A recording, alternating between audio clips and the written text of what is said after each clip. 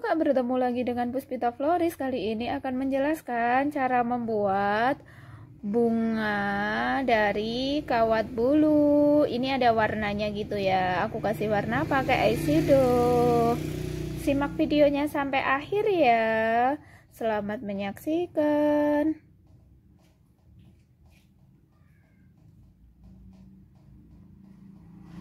Untuk alat dan bahan yang perlu disediakan ada kawat bulu warna putih, terus ini ada putik warna kuning ada 10 pieces, terus ini ada kawat yang panjangnya 15 cm, terus ini ada gunting, ada isolasi batang, terus ini ada eyeshadow digunakan untuk pewarna bunganya, terus ada lem tembak.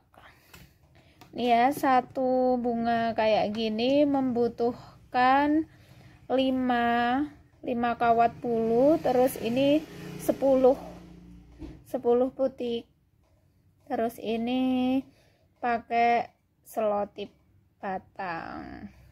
Terus untuk merah-merahnya ini kita pakai eyeshadow Simak videonya sampai akhir ya. Selamat menyaksikan.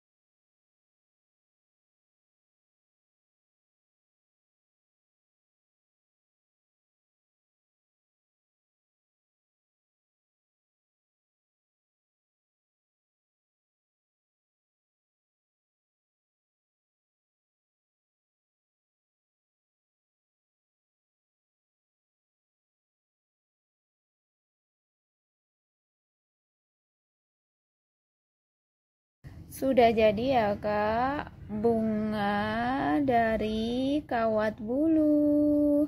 Ini bisa digunakan untuk bunga meja atau isian buket gitu. Mudah dan simpel kan? Selamat mencoba.